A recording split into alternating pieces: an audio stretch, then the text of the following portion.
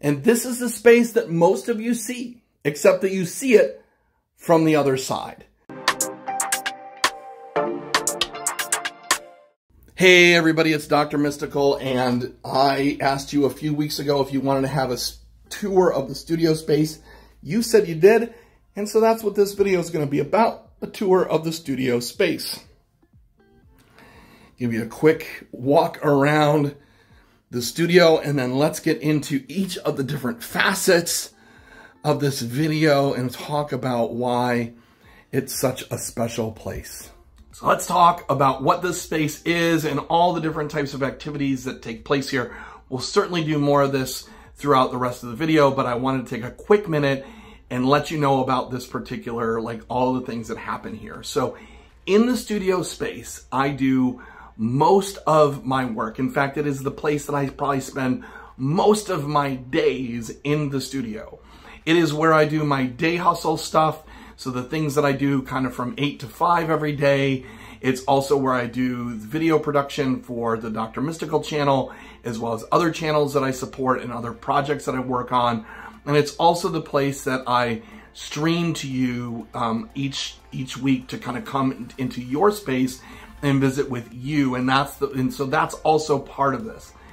In addition, I wanted to have the working space to have a couple of different other features that you'll see in the video, but a place for me to kind of like just unplug just a little bit, but stay connected to do maybe some reading or research or drawing or just sketching out ideas or just doing some thinking, but also a place that, you know, maybe the little mysticals, if they just wanted to kind of get out of the fray, could have a space that they could do that and still remain connected. And so the studio space in my particular house is the repurposed dining room. So the kitchen is large enough for my purposes to sit and have a meal with uh, my little mysticals and anybody else that I may have over. Um, and that's a space that we could do that in. I didn't see the need to have a full-fledged dining room. I simply just do not that do that many dinner parties. Even pre-pandemic, I didn't do that. And so the dining room just became a nice convenient space in the home. It's a fairly quiet neighborhood so I don't get a lot of outdoor sounds um, inside the space. And I hope that you, uh, I hope you enjoy the tour, actually. I really do. Let's start here with the most mundane, boring part of the studio, and that is the day hustle space. Standard corporate issue laptop, keyboard, and mouse. It is where I spend a lot of my time working the day hustle. I this is it's not my favorite thing to do in the world. It's a little bit soul sucking, but it keeps the lights on, it keeps the bills paid, and it enables me to keep, you know, kind of, you know, living like day hustles do. But you can see, you can just see how closely everything else invades the space.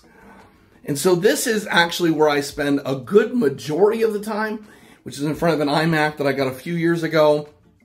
It's where I do the video editing, graphics editing, both for this channel as well as other channels and some other side projects that I get to chance to work on.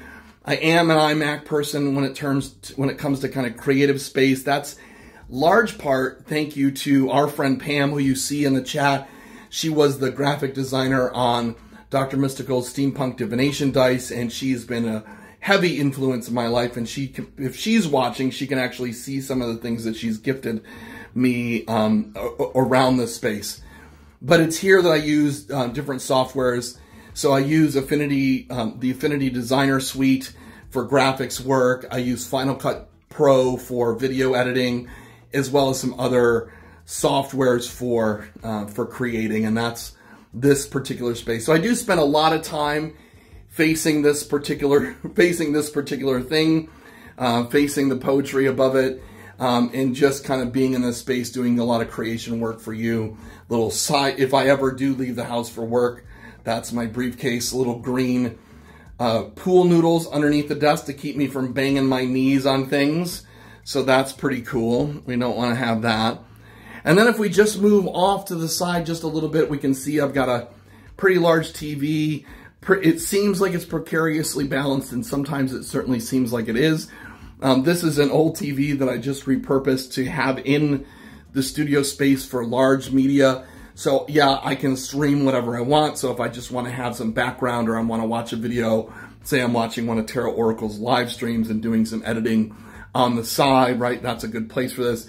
It's also a place for me to be able to see in a larger format some of the work that I'm doing on. So it has a connection to the iMac and makes that possible. It's on a rolly cart so I can pull it out of the way and we can look at the green screen behind it.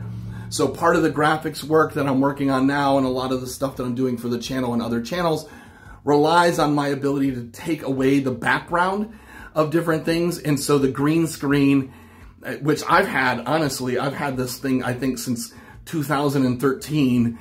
Um, it just has a good home here. It's behind the door. I can wheel the TV out of the way and I can do some images and get a nice clean, nice clean background to remove and make better thumbnails and different video projects, different, different types of editing projects, like the ones you saw in this video, as a matter of fact. So, so of course, how would my studio even be complete without this particular space? And that is my Tower of Tarot. No, it's not as cool as Tarot Oracles. No, it's not as conveniently located next to the stream machine as Tarot Oracle's Tower of Tarot, but it is mine. And the practical world dictated a little bit of its placement. It looks great kind of between the windows, but magically and spiritually speaking, it's one of the first things you see when you come into the space. And it reminds me of the art and the creativity and the spirit for which the studio is kind of built. And there's a lot of shelves, and, and you know, some of you are even going to recognize the top hat. We've got some great things going on. This is kind of a sub-altar within the space. There's some stones that our good friends Wolf and Tosh have sent along. There's uh, different things, some, some of the original decks down here. If you've been around the channel for a while, we've got some down here. We've got a couple of large pieces of marble that my little mysticals have dug up from the yard and some books that eventually will find a new place if we break the tarot collection out from where it is. I had one of the little mysticals count recently and we are up in like the upper 60s, I think, but I'm not totally sure if he, he was exactly accurate. But of course, the Tower of Tarot is an important part of this space. And I'll do a deeper dive on the tarot collection in another video, but just want to show you where it kind of exists in this space. And then there's this space. So it seems like this room is infinite, but it is essentially not. It is a dining room in this house that I've really wisely used the space in. But it here is kind of the corner of the space. You can see I've got a reading chair. I've got a window that I can open, a little side table for my tea and books, and a light lamp behind us, which you see in the streams. You see part of this corner in the streams. I do spend a good deal of time here. This is where I, you know, I'm sitting. It's directly opposite the TV, so I can watch, um, you know, I can watch a live stream and do some reading, or if I just need a break from kind of looking at the window or looking at the corporate day hustle, hassle, right, I can go over here and kind of sit and think and work and read and take notes. And I do spend a good deal of time here, and the, certainly the, the side table has made a big difference, and I've got a cup of tea that I need to get back to. But one of the things that I wanted to show you was this particular painting.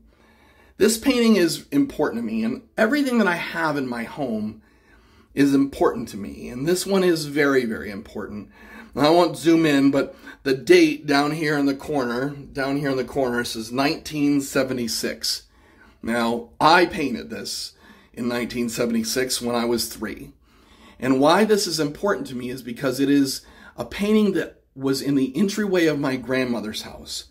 So everybody who came into that house, they opened the door and this painting was directly in front of them. She held it in such a sacred space that I just had to have it. And when she died, just way too long ago, uh, I made sure that this followed me um, so that I could have that connection with her in in wherever my space may be.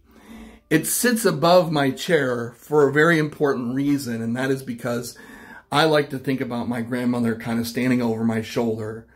She's one of my in-spirit guides, and it's her that kind of drives a lot of the spirituality in my life. And whether my family knew it or not, she was very, very spiritual and very, very powerful uh, magician in her own right.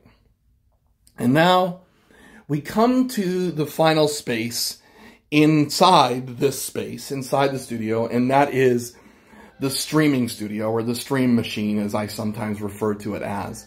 And we recently rebuilt it due to what appeared to be a bit of a lightning problem um, that fried the last stream machine, but we rebuilt it bigger and better, $6 million man style. And this is the space that most of you see, except that you see it from the other side. I will do a much deeper dive on my streaming setup and how it works, the software, the equipment, the hardware, but I'll give you a quick tour now of this particular space. And so you can see down below, we've got the stream machine, the box itself. We've got a foam roller, which I use to put my feet on so I'm a little bit more comfortable when I'm streaming. You notice I'm a little fidgety sometimes. We've got some poetry, again, from my friend Pam that helps kind of remind me of uh, remind me of lots of different things. Um, I've got this two studio lights at the edges of the desk nice, neat, neatly clamped, C-clamped to the, the, the table. Um, I have them set at an angle, so I'm getting a little bit of an indirect light onto the streaming, uh, onto the cameras. I use two old phones as my web cameras. They have little, oh, this little dinosaur guy is upside down. They have two little dinosaurs that the Little Mysticals gave me, which are also very, very important. Very, very important to keep me connected. Of course, the microphone, which has also got a pool noodle, keep it from bumping the wall. But uh, we usually keep that up and out of the way so we have a full view of the a full view of the monitor, keyboard, mouse, stream deck, um, the cup for the wood. We've got a couple other uh, couple other important tchotchkes here um, along the side, and you can even see I've got a new tarot deck that I need to, or new oracle deck that I need to shoot a little bit of work on.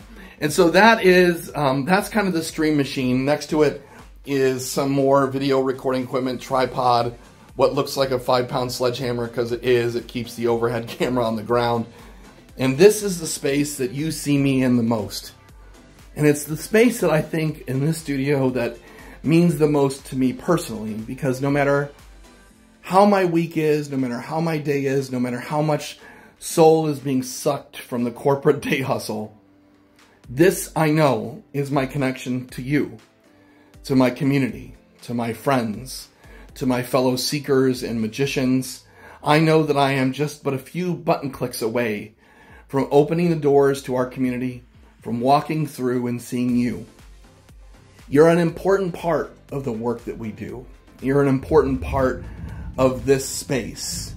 You're an important part of why this space is sacred because you come into it every single week and you see it in different parts and from different angles each and every time.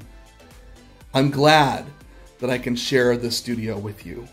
And I'm thankful that you come here each and every week to see the different things that we can do together and the different magic that we can create.